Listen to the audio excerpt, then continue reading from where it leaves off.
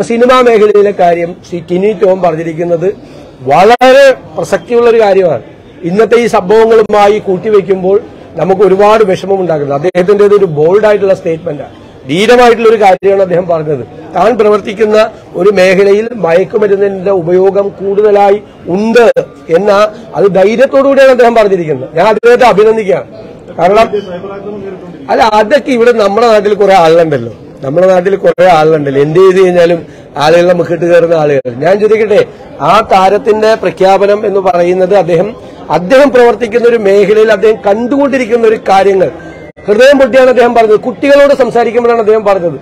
ആ മേഖലയെ പറ്റി. അത് മൂടി വെച്ചില്ല അദ്ദേഹം. അതേ ഞാൻ പറഞ്ഞു ഇപ്പൊ നാളെ അദ്ദേഹത്തിന് ചാൻസ് ഉണ്ടാവോ?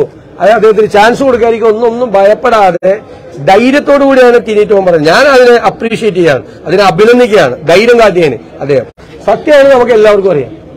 സിനിമ മേഖലയിൽ മാത്രമല്ല സകല സ്ഥലത്തും ഇത് വ്യാപകമായി പടർന്നിരിക്കുകയാണ്. തടയാനുള്ള ഒരു സംവിധാനവും നിയന്ത്രിക്കാനുള്ള ഒരു സംവിധാനവും ഇല്ല. മാരകമായ ലഹരി രാസ മരുന്നുകളാണ് കേരളത്തിലേക്ക് വന്നുകൊണ്ടിരിക്കുന്നത്. ഏതെങ്കിലും ഒരു വലിയ സോഴ്സ് ഏതെങ്കിലും ഒരു വമ്പൻ സ്രാവിനെ ഈ പോലീസ് എക്സൈസ് ഇതുവരെ ചെയ്തോ? പോലീസ് എക്സൈസ് ഇതുവരെ ചെയ്തോ? ഒട്ടിച്ചില്ല എക്ക പിടിക്കുന്നത് ചെറിയ ചെറിയ ചെറിയ ചെറിയ കാരിയേഴ്സ് ഈ ഏറ്റവും അറ്റത്തുള്ള കാരിയേഴ്സിനെ മാത്രമാണ് പിടിക്കുന്നത്. വമ്പൻ ആളുകളെ ഒന്നും തൊടുന്നില്ല. ഇത് അപകടകരമായ നിലയിലേക്ക് ഇത് പോവുകയാണ്. ഇപ്പോ ഹൈക്കോടതി ചോദിച്ചു വൈസ്ലൈറ്റിനെ പ്രതി ആക്രമിക്കുന്ന സമയം വിദൂരമല്ല. ഇന്നലെ തന്നെ ഉണ്ടായി സംഭവം. ഇന്നലെ തന്നെ ഉണ്ടായല്ലോ. ഇന്നലെ തന്നെ മജിസ്ട്രേറ്റിന്റെ മുമ്പിൽ വനിതാ മജിസ്ട്രേറ്റിന്റെ ഉള്ളിൽ പേനാഗതിയായിട്ട് പ്രതി ഹാജരായ സാഹചര്യം ഉണ്ടായി. ആർക്കും ആരെയും വിശ്വസിക്കാൻ പറ്റാത്ത ആളുകളാണ്. ഇപ്പൊ നമ്മൾ റോഡിലൂടെ യാത്ര ചെയ്യുമ്പോൾ ഞാൻ നിയമസഭയിൽ പറഞ്ഞല്ലോ തിരുവനന്തപുരത്ത് റോഡിലൂടെ ഒരു വണ്ടി പാർക്ക് ചെയ്തിരിക്കുന്ന ഒരാൾ. അദ്ദേഹത്തിന്റെ വണ്ടിയിൽ രണ്ട് ഒരു ബൈക്ക് വന്നിടിച്ചു രണ്ട് യാത്രക്കാർ പോകുമ്പോൾ അപ്പൊ അദ്ദേഹം എന്തിനാണ് നിങ്ങൾ ഈ പാർക്ക് ചെയ്തിരിക്കുന്ന വണ്ടി?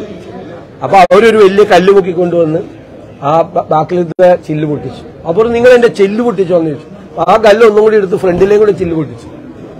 അദ്ദേഹം വീട്ടിലേക്ക് പോയി പോലീസ് പരാതി കൊടുത്തോന്ന് ചോദിച്ചു. പോലീസിന് പരാതി കൊടുത്തില്ല. അവന്മാരെ എന്റെ വീട് കൂടി ആക്രമിക്കുന്നു. ഇതാണ് സ്ഥിതി തലസ്ഥാന നഗരിയിൽ. ഞാൻ നിയമസഭയെ പ്രസംഗിച്ചത്.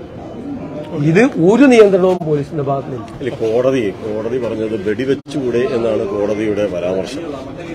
അതേസമയം അരിക്കൊമ്പന്റെ കേസിനകത്ത് വെടിവെക്കരുതെന്നും പറഞ്ഞു. അത് ഇതും തമ്മിൽ കമ്പയർ ചെയ്യേണ്ട ഒരു കാര്യം